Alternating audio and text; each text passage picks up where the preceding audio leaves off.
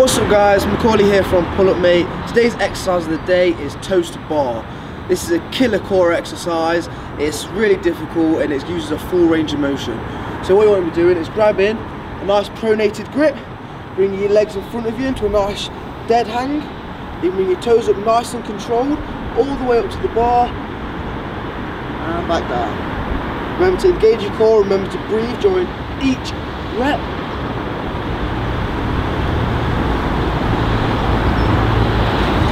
It's a really difficult exercise. If you do find this one easy, try with one leg and it will make it that much harder.